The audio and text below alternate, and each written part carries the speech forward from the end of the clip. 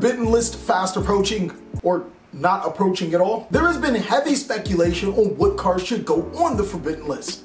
Well, I thought this would be the perfect time around to actually talk about a Forbidden List that everyone would want. This Forbidden List isn't aimed at making a prediction on what Konami would do. This is a prediction list aimed to make as many balanced decks in this format as possible. Now I know some of you guys may love this format, some of you may dislike it, but I am pretty sure the inclusion of some of the older popular decks inside of this format would make everyone happy. So let's jump on in. Our first pit stop is talking about the ever so popular banned section of a Forbidden List.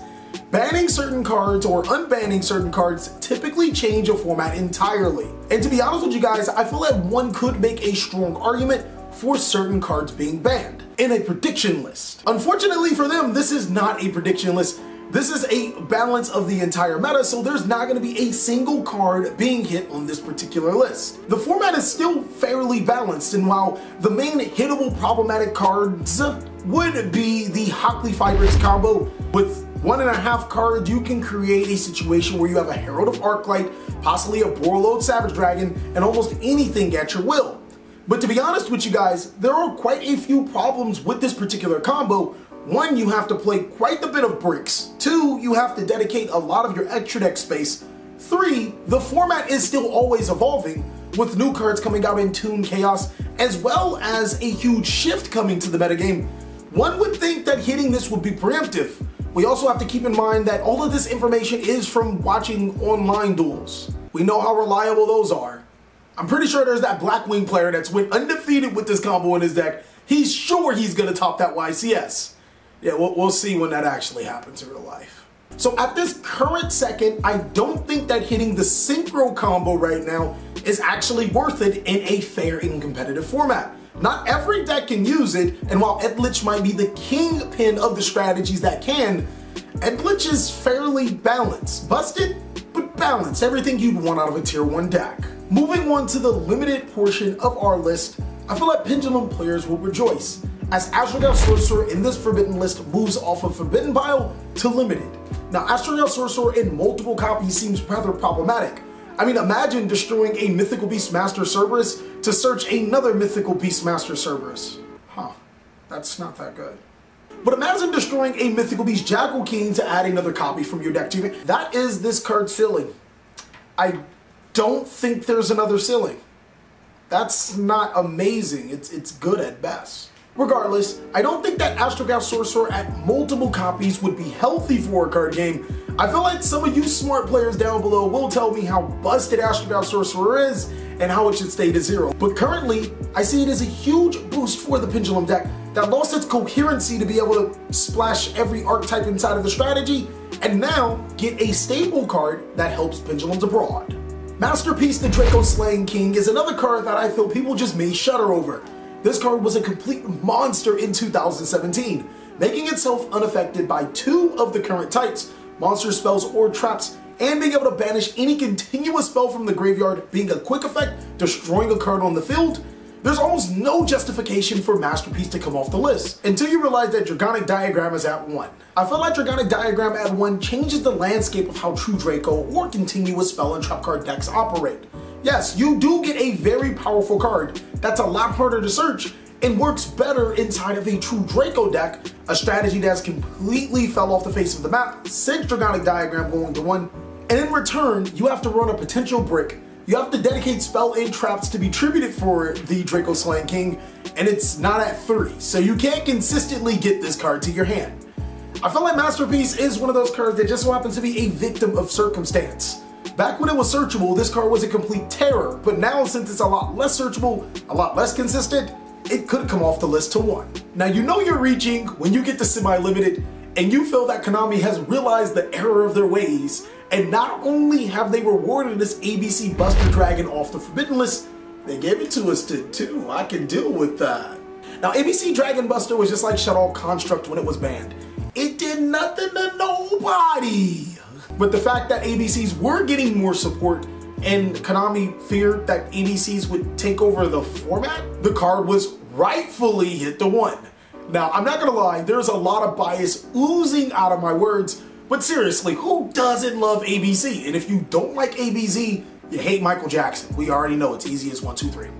ABC Dragon Buster to 2 allows ABC to be competitive, and the fact that ABC Dragon Buster can't just be splashed in any deck, I mean, come on, it's literally just direct support for ABC. One thing that we noticed when we came into the lockdown tournament was that Sky Striker was still fairly disappointing. I mean, yes, it did get past round one. It beat Zoodiacs. I don't know if that's an accomplishment or if you should get a pat on the back for that.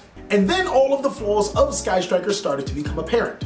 Now, I did read some comments, players saying that Sky Striker is a going second deck and it should be playing going second cards. You could be correct. But if a deck has to rely on going second and playing going second cards just to be able to compete inside of a format where decks play a super synchro engine that want to go first and build a board that you will not be able to break, even with cards like Evenly Matched and Lightning Storm, you're not a good deck. We thought that a middle ground for making Sky Striker to the most busted deck in Yu-Gi-Oh! to actually a fairly competitive deck was bringing Sky Striker multi-role from limited to semi-limited. This allows them to actually play a grind game and gives them a reason to go first, being able to cycle in those Sky Striker spell cards back to their side of the field for later use. But don't worry, ladies and gentlemen, we actually still have some other Sky Striker edits that would make the deck a contender, but not overly powerful. Speaking of overly powerful cards, we strongly feel that this card is a little too powerful. Like if it ever came off the list at more than one, you kind of have to look at it different. But it's a part of a strategy that isn't doing too hot right now. Even though the strategy is relatively good, Nekroz a Unicore could be a boost to the Nekroz strategy coming off of the list. Now some players may argue that, hey, Cali Effect, this card is at 3 in the OCG and the deck does nothing. I literally want to tell you we play two different card games and if Harpy's Feather Duster on their list and Harpy's Feather Duster still forbidden on our list doesn't say enough, I don't know what to tell you. I did that the implications of Nekroz a Unicore coming from 1 to 3 could be huge. Nekroz is actually not a terrible deck. It's one of the best ritual decks, if not the best ritual deck of all time. So I definitely want to play it safe, being able to special summon a monster that prevents the effects of extra deck monsters is something that you really should be wary about. I think with natural progression, Nekroz Unicore can come to 3, but pump your brakes, let's try two first. Now moving forward to the unlimits. Typically in a Forbidden list, unlimits literally mean nothing. They're cards that come completely off the Forbidden list and have no impact. But in this particular list, I like to say that this is the guts of the Forbidden list. This is what makes so many decks competitive. On my Forbidden list, I actually have Performapal Skullcrobat Joker. Now this is huge. I think the reason why Skullcrobat Joker did get banned, come off the list and banned again, is because Pendulum were literally just a strategy of mechanic. It just did things. Pendulum decks with Electrumite were literally just get two Pendulum monsters to make Electrumite and then abuse the best cards in the pet mechanic. Pendulum decks of now kind of force you to actually play the archetype. While you could play Performapal Skullcrobat Joker inside of Endymion, you miss out on your normal summon. And your normal summon just so happens to be Spellbook Magician of Prophecy. And Spellbook Magician of Prophecy happens to give you two deeper cards as well as spell counters on your Endymion monsters. So I feel that it isn't as versatile as it used to be, and Performapal Skullcrobat Joker is a huge boost for Magician Pendulum decks. Pantheism of Monarch to 3, I feel like I shouldn't have to talk about this card coming to 3. Let's just move on to the next card.